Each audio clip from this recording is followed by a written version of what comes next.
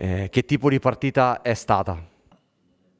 Sì, eh, vabbè, l'avete visto tutti, il primo tempo un po', un po particolare, l'avevamo preparata in un certo modo, loro, loro mi sono parsi una, una, buonissima squadra che è venuta qua comunque con la giusta personalità. Poi secondo tempo il mister ci ha chiesto di, di fare altro, ci siamo messi in un altro modo e penso che mh, sia stata la, la mossa giusta, la mossa migliore e fortunatamente dopo abbiamo trovato, abbiamo trovato il gol e poi insomma è stato il pareggio.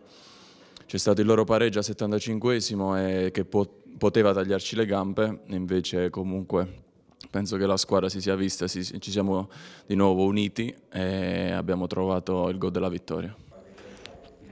Che, eh, che cosa significa per te questo gol? No, ma no, io non... Guarda, è normale per un attaccante fare gol è tanto importante, però quando si vince penso che, penso che sia la cosa, la cosa, che conta più di tutte, mai come quest'anno, credetemi, non lo dico tanto per poi è normale.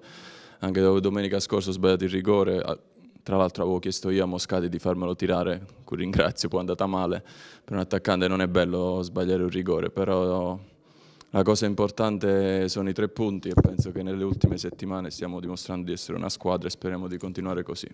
A chi dedichi questa rete?